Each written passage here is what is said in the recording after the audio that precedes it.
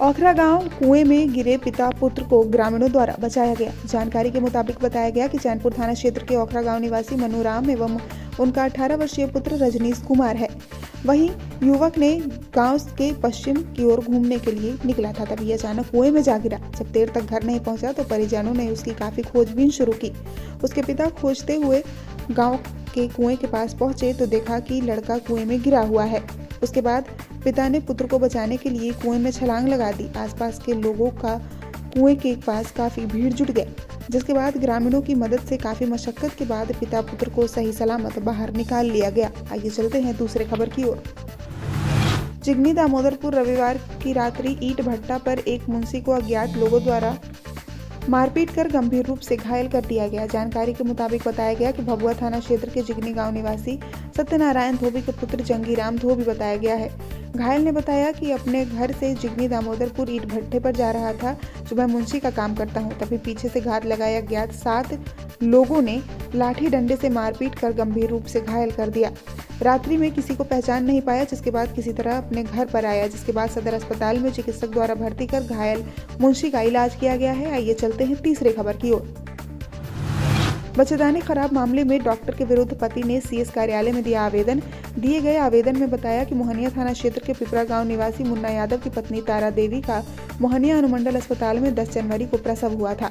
वहीं पति ने आरोप लगाते हुए कहा कि डॉक्टर और स्वास्थ्य कर्मी द्वारा प्रसव के दौरान लापरवाही की गई, जो मेरी पत्नी का बच्चेदानी खराब हो गया, जिसके बाद डॉक्टर ने रेफर कर दिया। उसी मामले को लेकर भाभुआ सीएस कार्यालय में आवेदन देने पहुँचा हूँ, ताकि इस मामले को की जाँच करवाई जा सके। आइए चलते हैं चौथी खबर की ओर। सात जनवरी को भभुआ पूरब पोखरा पीएनबी एटीएम के गार्ड का हुआ गोलीकांड मामले में लोगों ने शहर में न्याय यात्रा निकालकर डीएम को ज्ञापन सौंपा है। दिए गए आवेदन में बताया गया कि 7 जनवरी को भभुआ पूरब पोखरा के पास कैश वैन से भावनु चौबे के द्वारा पैसा एटीएम में डालने के लिए ले जाया गया था। तभी अपराधियों द्वारा उनको गोली मारकर हत्या कर दी गई, पैसे छीनकर अपराधी फरार हो गए। जहाँ उसी मामले में लोगों ने पाँच सूत्री मांगों को लेकर डीएम को ज्ञापन सौंपा है। आइए चलते हैं पांचवे खबर की ओर। भभुआ जिला समाहरणालय पर बक्सर में किसान पर पुलिस द्वारा किए गए लाठीचार्ज मामले में आज भाजपा कार्यकर्ताओं के द्वारा जिला समाहरणालय पर एक दिवसीय धरना प्रदर्शन दिया गया। बता दें कि बक्सर के बनारपुर चौसा में पुलिस द्वारा रात्रि को किसानों पर लाठीचार्ज किया गया था, जहाँ इस घटना को लेकर पूरे बिहार में चर्चा का विषय बना हुआ है। वहीं बक्सर में पुलिस द्वारा किसान पर किए गए लाठीचार्ज और कैमूर में पीएनबी एटीएम पर कार्ड की गोली मारकर हत्या मामले में और शिक्षा मंत्री के रामचरित मानस पर विवादित बयान के मामले में भाजपा कार्यकर्ताओं ने धरना प्रदर्शन दिया। वहीं इस संबंध में रामगढ़ भाजपा के पूर्व विधायक अशोक सिंह ने कहा कि सरकार के बल पर पुलिस यहाँ गुंडागर्दी कर रही है। ये घोर निंदनीय है। आइए चलते हैं छठे खबर की ओर। अधौरा के जंगल में मुशरवा बाबा के पास बंदर को बचाने में बाइक सवार दो व्यक्ति गिरकर गंभीर रूप से घायल। घायल व्यक्ति अधौरा निवासी सुखू सिंह का बत्तीस वर्षीय पुत्र, बुल्लू सिंह एवं भभुआ निवासी स्वर्गीय सुरेश पासवान का सैंतीस वर्षीय पुत्र, मंटू कुमार पासवान बताया गया है।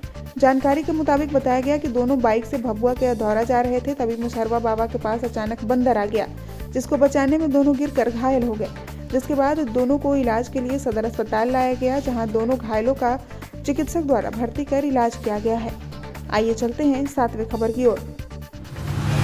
सोमवार को भभुआ कन्नीराम धर्मशाला में जिला स्तरीय कार्यकर्ता सम्मेलन व शहीद कॉमरेड महेंद्र सिंह का शहादत दिवस मनाया गया। वहीं भाकपा माले के जिला सचिव मोर ध्वज सिंह ने बताया कि जिला स्तरीय कार्यकर्ता सम्मेलन के साथ शहीद कॉमरेड महेंद्र सिंह के शहादत दिवस भी मनाया गया। जहाँ सभी कार्यकर्ताओं ने बारी बारी से उनके तैलित चित्र पर माल्यार्पण कर उनको श्रद्धांजलि दिए उसके साथ ही पार्टी को मज़बूत बनाने को लेकर कई बिंदुओं पर चर्चा भी की गई। आइए चलते हैं आठवीं खबर की ओर। सोमवार को अखलासपुर गाँव के पास ई रिक्शा के पलटने से एक महिला गंभीर रूप से घायल हो गई। घायल महिला भभुआ थाना क्षेत्र के कुंज गाँव निवासी प्रमोद कुमार सिंह की 40 वर्षीय पत्नी कंचन देवी बताई गई है। जानकारी के मुताबिक बताया गया कि महिला भभुआ से बाज़ार कर अपने गाँव के लिए जा रही थी। तभी अखलासपुर गाँव के पास ई रिक्शा अचानक पलट गया। जहाँ ई रिक्शा पर सवार महिला गिरकर गंभीर रूप से घायल हो गई। घायल महिला को भभुआ के सदर अस्पताल में ले जाया गया, जहाँ चिकित्सक द्वारा घायल महिला का इलाज किया गया। इस खबर को यूट्यूब पर देख रहे हैं तो चैनल को सब्सक्राइब कर घंटी को दबाइए। अगर फेसबुक पर देख रहे हैं तो पेज को फॉलो लाइक और वीडियो को शेयर कीजिए। और कैमूर ज़िले की तमाम खबरें सबसे पहले अपने फ़ोन पर पाने के लिए प्ले स्टोर से कैमूर न्यूज़ ऐप को इंस्टॉल कीजिए।